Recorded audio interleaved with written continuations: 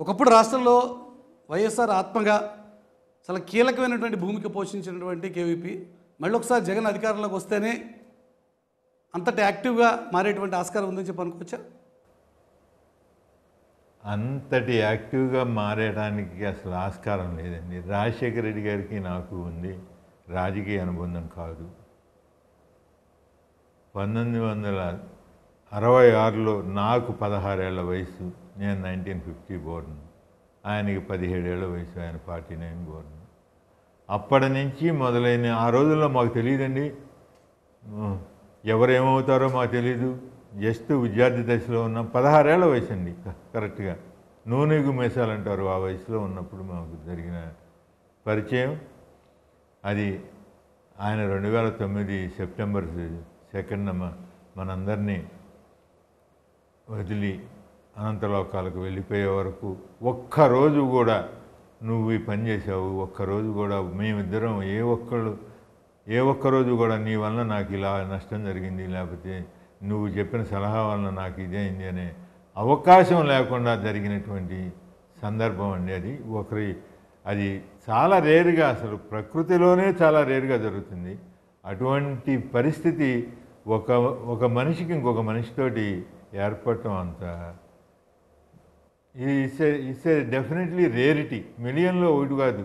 కొన్ని కోట్లలో ఒకటి జరుగుతుంది అట్లా జరుగుతుంది. Back to this Polavaram issue మళ్ళొకసారి పోలవరం అంశాన్ని తీసుకుంటే పోలవరం అంశానికి సంబంధించి మీరు చేస్తున్నటువంటి కార్యక్రమాల వల్ల మీ పార్టీ జాతీయ జాతీయ నాయకత్వం సీరియస్ అయ్యి మీ మీద చర్యలు తీసుకున్నా కూడా మీరు సిద్ధంగానే ఉన్నారు ఎదుర్కోవడానికి? మురళి గారు మా పార్టీ గురించి మీ అభిప్రాయం ఏంటో నాకు తెలియదు కానీ. చంద్రబాబు నాయుడుకి కాంగ్రెస్ పార్టీకి మధ్య మీరు ఏదైనా గొడవలు తెచ్చే ప్రయత్నం చేస్తున్నారు అని చెప్పి మీ జాతీయ నాయకత్వం ఫీల్ అయ్యే పరిస్థితి ఉండదా ఎందుకుంటుందండి?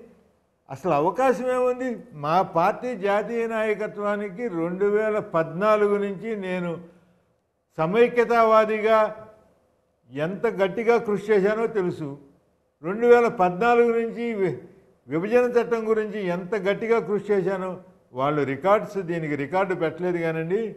గిన్నీస్ బుక్ ఆఫ్ వరల్డ్ రికార్డులో నా పేరు నమోదవుద్ది. చట్టసభలో ఇన్ని రోజులు నిర్విరామంగా వెల్లో నిలబడి ఒక ప్రజా సమస్యపై పోరాడిన కేవలం రెండే రెండు సమస్యలండి నేను పోరాడింది మొత్తం.